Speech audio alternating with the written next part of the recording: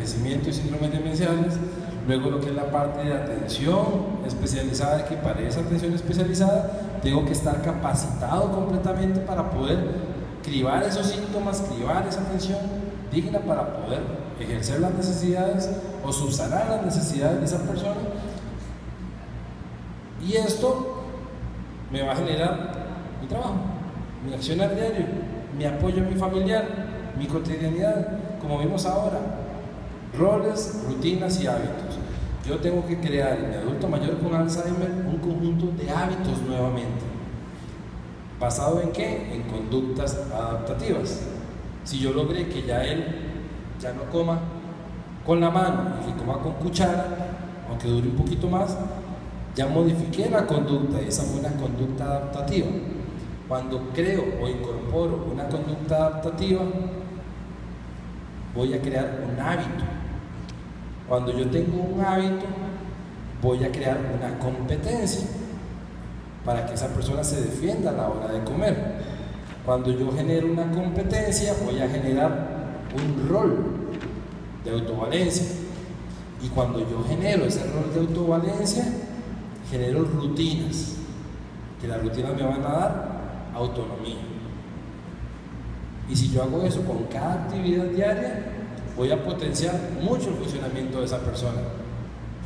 Y va a tener que ver mucho con la reabsorción medicamentosa. La medicación, ¿verdad? Es muy compleja de entender y hace mucho funcionamiento, muchos cambios químicos al cerebro y al funcionamiento del organismo del mayor. Por eso ustedes van a ver que los efectos de, por ejemplo, eh, una clonazepam a un adulto joven de 25 años, tomarse 10 gotitas de clonazepam, se las toma, se relajó, sintió rico, durmió como, un bebé. Pero si le das esas 10 gotas de clonazepam al adulto mayor, posiblemente empiece con un temblor, con problemas de estabilidad, no logra cómo acomodarse y hasta sentado se acomoda torcido pierde el equilibrio y no logra alinear su postura. Entonces el efecto de reabsorción medicamentosa va a ser mayor. Entonces todos estos cambios globales me generan a mí que más carga de trabajo. Tenemos cambios del envejecimiento normales, cambios del envejecimiento patológico. Y si a eso le a uno toda la parte del sistema de crianza y personalidad, me hacen un colocho emocional y una carga de trabajo muy grande. Aquí es donde tengo que dividir muchas cuestiones.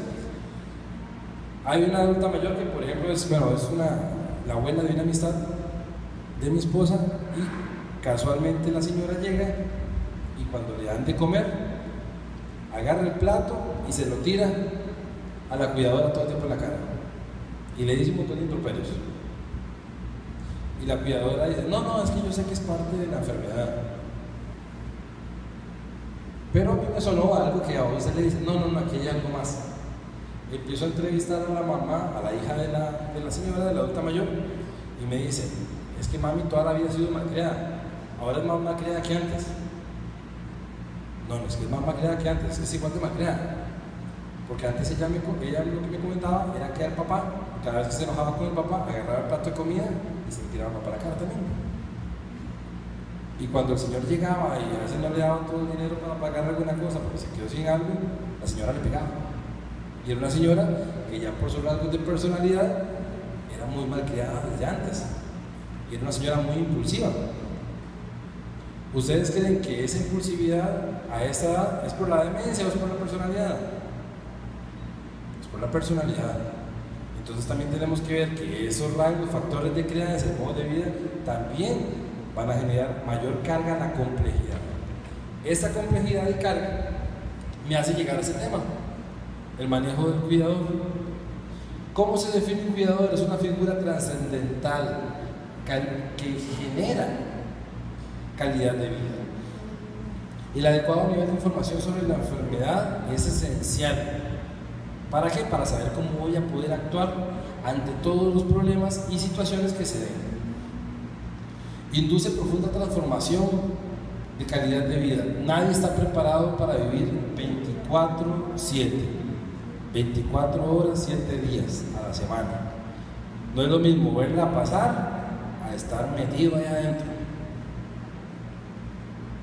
Y uno no puede llegar a aconsejar si muchas veces no ha vivido muchas de esas cosas. Casualmente ahora le comentaba a una de las señoras que mi abuela tenía una demencia vascular y empezó con un deterioro sumamente rápido. Las demencias vasculares se deterioran en dos segundos. Ves a la persona funcionando hoy y ya mañana le ves un cambio radical a nivel cognitivo. Todavía en el Alzheimer vamos viendo que el cambio se da en un proceso de 8 o 10 años, 8 años por lo general, pero en la vascular no, es un cambio súbito a nivel motor, es un cambio súbito a nivel emocional, es un cambio súbito a nivel de capacidades motrices y cognitivas. Es un cambio completamente repentino y eso genera carga completa al cuidador y la responsabilidad de cuidarlo 24/7 es fatal. ¿Qué pasó con mi abuela? Resulta que ni mi papá ni mi tío que viven en Costa Rica querían hacerse cargo de mi abuela. Y mi abuela quería vivir allá, y después quería vivir aquí, y después quería vivir allá, y después quería vivir acá. Pasó como en cuestión de año y medio, se echó como ocho viajes. Entonces iba a Costa Rica, se peleaba con mi papá y mi tío. Venía para acá, se peleaba con mis tías.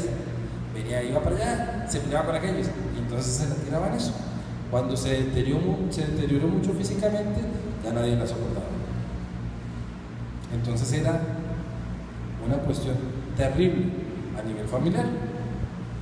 Nos encargamos, mi hermano y yo, de mi abuela, de pagarle una cuidadora y todo lo demás, de capacitar a la cuidadora para que estuviera con ella. Pero ¿qué pasó? Y nos quedó, como decimos en Churuca, nosotros. Y el problema ya de nosotros teníamos que ver qué hacíamos. En eso mi abuela dijo, no, yo me quiero ir para El Salvador. Y yo le dije, no, usted se va a quedar aquí, imponiéndolo, no tomando en consideración lo que ella quería. Y ella dijo, no, usted es mi nieto, no va a decidir por mí, me voy para El Salvador. Y mis tías dijeron, bueno, que se venga. Se vino de regreso y bueno, falleció ahora en marzo. Entonces, ¿qué pasó en todo este proceso? Fue algo muy complejo y nadie lo entendía. Tal vez yo como terapeuta en su momento daba charlas a cuidadores y decía mucho de lo que la teoría y estudios científicos dicen. Pero ahora que yo también estuve parte de cuido, parte de familiar, parte de todo, les puedo decir, es muy difícil. Y esta carga 24/7 era cosa seria. Porque muchas veces el adulto mayor con el hijo está súper bien, súper cariñoso y con el cuidador está mal criado, responde muy ofensivo. Usted le dice al hijo, es que está muy mal criado, no quiere comer. Y llega el hijo, agarra, mamá, venga, coma. Y el señor o la señora abre la boquita, come y súper educado. Y llegó el cuidador, no me gusta, lo tira, no quiere comer. Y no abre la boca y no come. Entonces es como el simple juego de roles y competencias que se dan en el cuidador. Y el ser cuidador es una carga terrible, porque todo el mundo busca responsabilidades. Todo el mundo te va a buscar responsabilizar de aquellas acciones, pero nadie se va a quedar con ese peso de la mochila. ¿verdad? Y lo que hablábamos ahora, si el adulto mayor lo veo como carga, como ese salveje que lo encima, lo veo como el enfermo, ahí es donde me voy a empezar a cansar. Cuando yo ya veo a esa persona como una carga es porque estoy cansado. Y me cuesta aceptar que estoy cansado porque también nos cuesta ver lo que es la parte de fragilidad. El síndrome de burnout es un proceso crónico, plurisintomático, repercute en todas las esferas de la vida, profundo desgaste físico, emocional y social. Hay un desequilibrio por estrés, ansiedad, depresión y frustración. Pero ¿qué es lo que pasa muchas veces con el cuidador? Que no puedo decir estoy cansado. Porque a veces me dedico a mi adulto mayor por un salario, yo ocupo comer. O a veces no me queda de otra, es mi mamá. O a veces no me queda de otra, es que mi abuelo. Pero tengo que salir adelante con eso.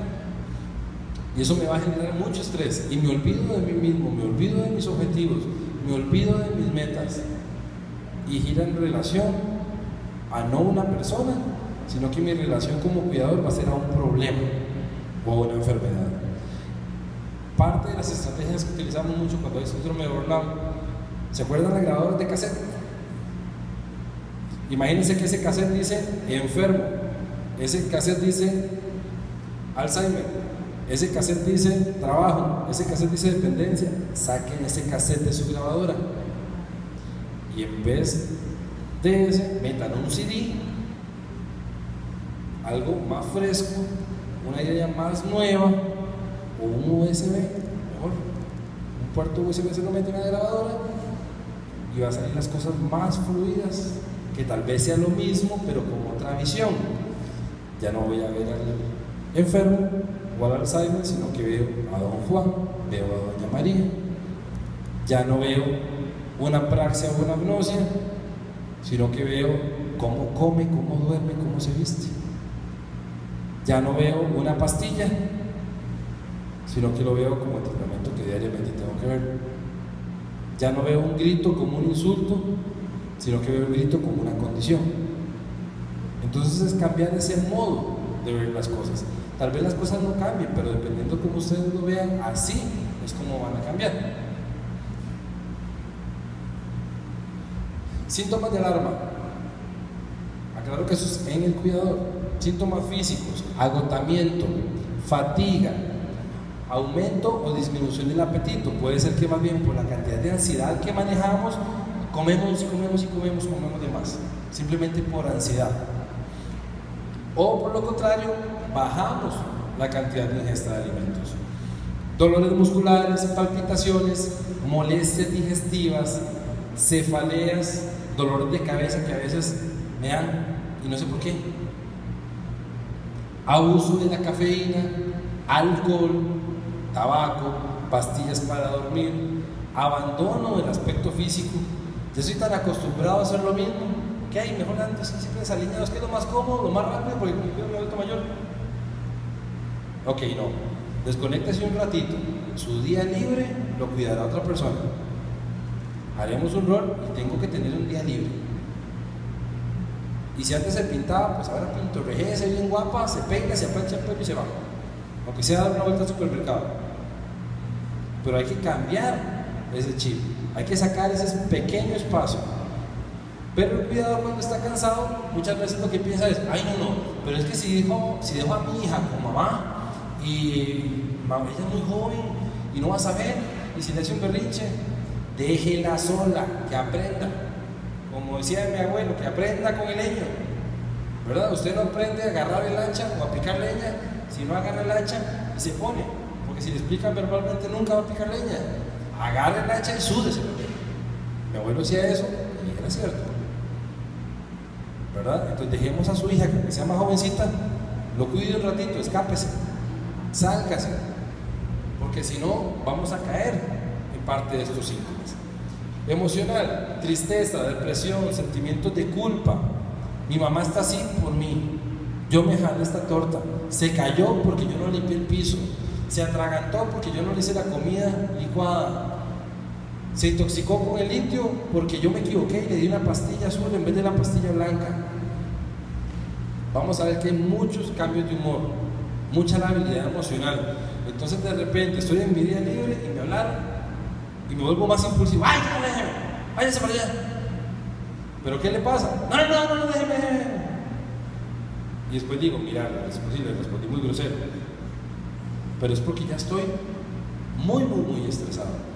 A mí me pasó casualmente en el hospital que una vez me mandaron a un pabellón que llegó un médico psiquiatra con una idea un poco loca de quitarle la medicación a todos los pacientes de ese pabellón.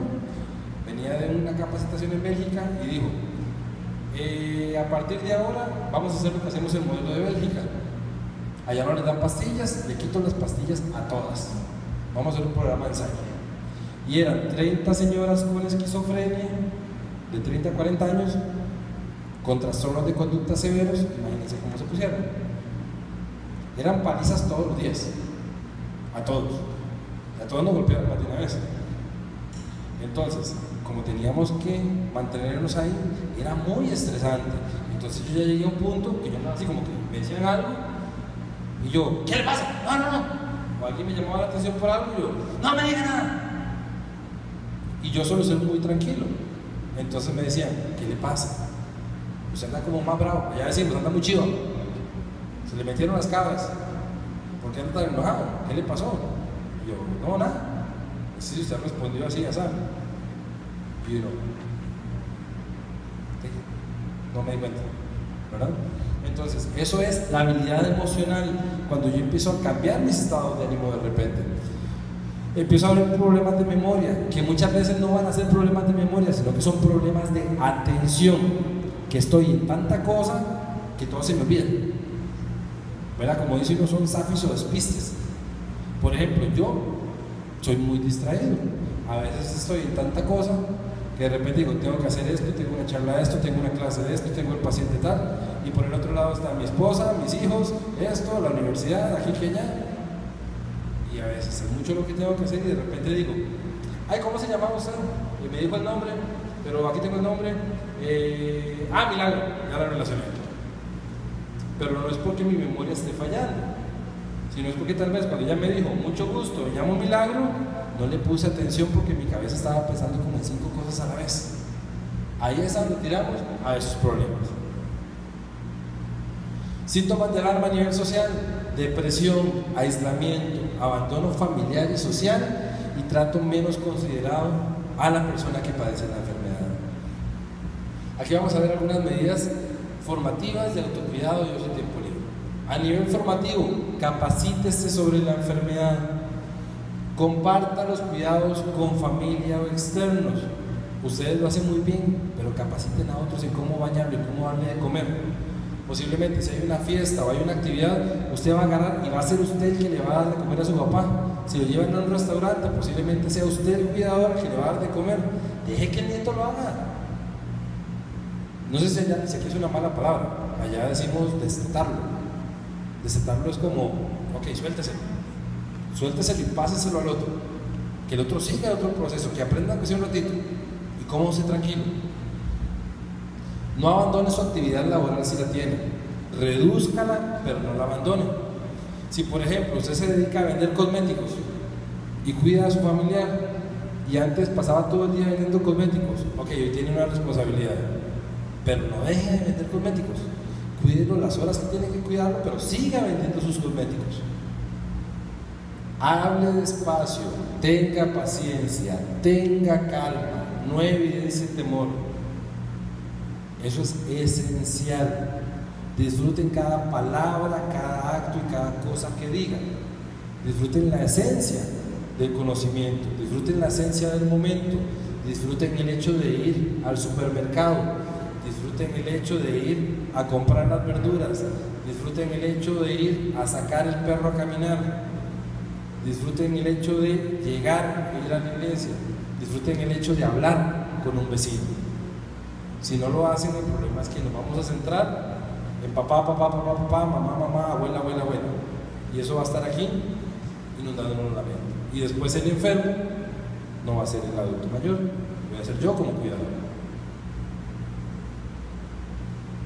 No infantilizar, eso es muy esencial.